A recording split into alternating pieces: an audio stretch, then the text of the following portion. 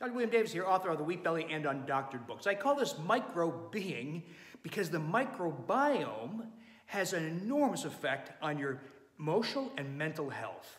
We're seeing this play out very vividly, and that's what I'm trying to pass on to you, when we identify small intestinal bacterial overgrowth, the condition in which bacteria have ascended up from the colon and up into the ileum, jejunum, duodenum, and stomach, where they're not supposed to be, and they're often pathogenic, unhealthy bacterial species.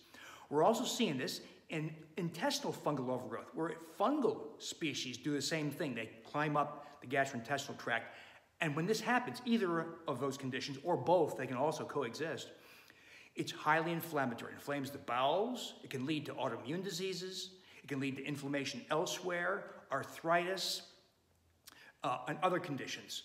But it all, both those conditions also have mental and emotional implications. And we're seeing it play out because we're identifying it, correcting it, like with SIBO, we use herbal antibiotics and some other strategies. With fun, fungal overgrowth, we use antifungal agents like herbal preparations and some of the essential oils that have very potent antifungal effects. And you see people go through a very tumultuous period where treating the bacteria results in a die-off reaction that's associated with panic, diarrhea, anxiety, depression.